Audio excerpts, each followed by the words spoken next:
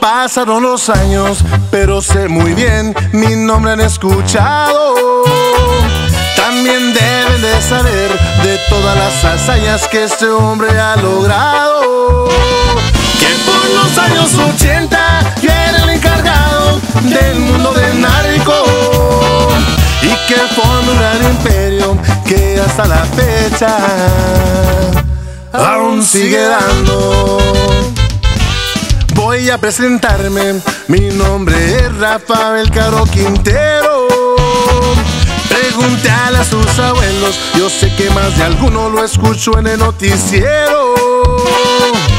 Soy considerado el arco de narcos y el número uno. Soy de Sinaloa, proveniente de la Noria. Y pa' todo el mundo. La cárcel no es para siempre, como lo aclaré en aquella entrevista. Bien recuerdo las preguntas que me estaba haciendo aquella señorita. Yo no conseguí lo que alcancé a tener fácil como ella decía. Creo que le quedó bien clara la respuesta que le di. Nada es fácil en la vida.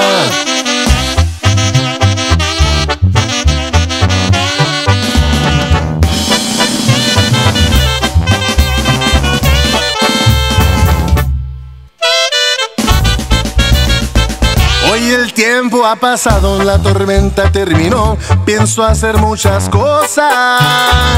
Arrepentido jamás, lo hecho, hecho está, así se escribió la historia. Me relacionaron con la muerte de un agente de la DEA. Creo que están equivocados, como dice aquel corrido. Yo no mate a Camarena.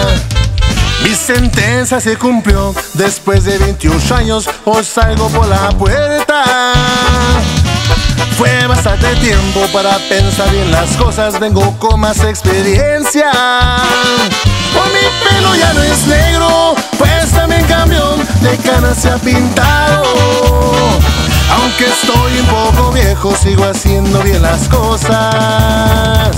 Siempre lo he demostrado. Ya me voy a despedir, respiro al aire libre, hoy estoy muy contento. Visitar a mi familia, tengo mucho que contarles, tengo ganas de verlos. Don Rafa ya salió y viene con todo, su legado sigue activo. Su apellido es caro y el Señor sigue siendo muy seguro de sí mismo.